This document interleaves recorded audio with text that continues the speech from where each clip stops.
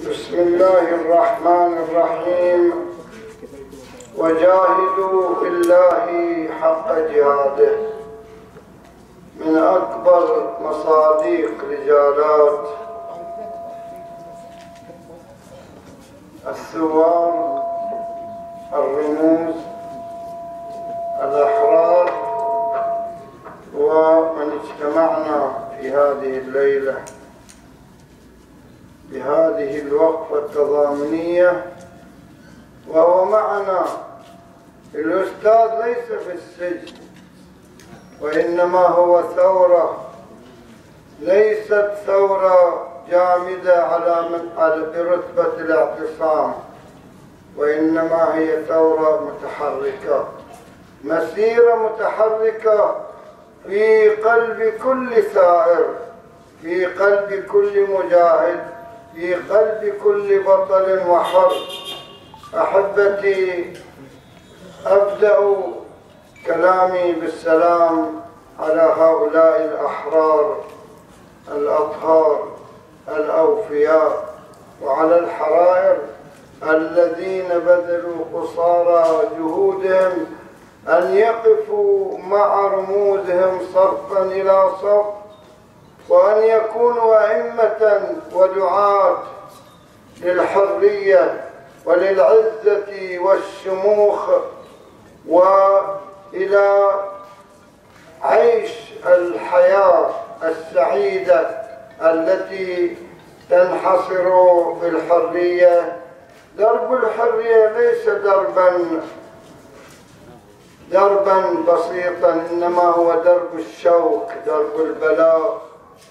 هذا الذي لا يسلك إلا النبلاء الأنبياء الأوصياء أصحاب الفتوحات أصحاب الغزوات الذين استطاعوا أن ينشروا العقيدة والإسلام ويحرر الشعوب من عبادات الأصنام.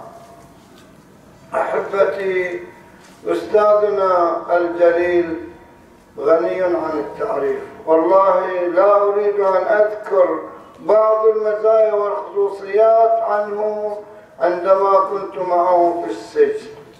سجن المنامة. جلست معه شهرين. والله ولا أريد أن أقسم على أنه الرجل المحنك سياسيا الذي يصدق عليه بأن يكون أستاذ البصيرة.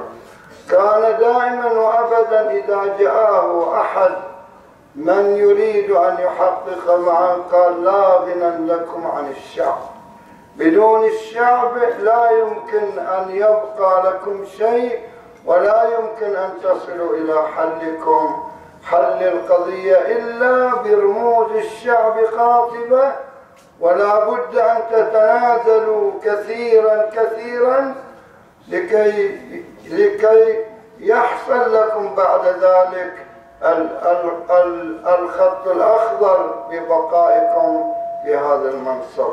ولا أريد أن أتعرض عن المزايا الخصوصية وما لاقيت وكان دائما وأبدا رغم أني كنت أحسد نفسي وأغبط نفسي عندما أجلس مع أحد السجناء. أقول ابني لا بال هاي الدنيا والأجل بيد الله والرزق بيد الله.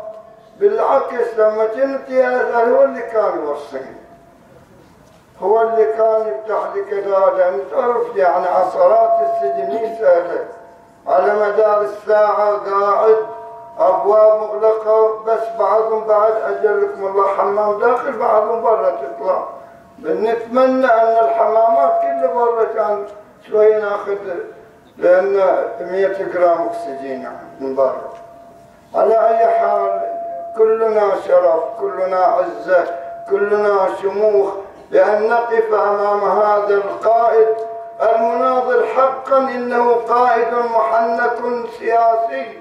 استطاع بسياسته أن يخدم هذه الثورة وأن يفجر الثورة وهو المفجر الأول في الثورة. وعندما كنت معه أيام المبادرة وجد كل منشور يظهر بكتابته وبرأيه. لا يمكن أحد أن يخالفه إلا في بعض الملاحظات. رجل ثابت رجل ما عرف منذ اعتقل وحتى بعد أن خرج وبعد أن اعتقل.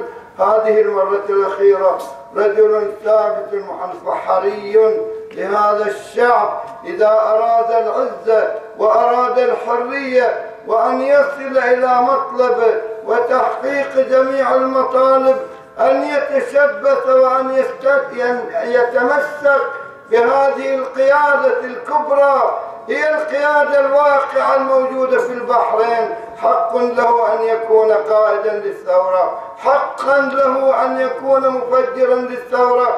حقا له أن تقول الناس والشعب كاملا عبد الوهاب يا أبو حسين. يا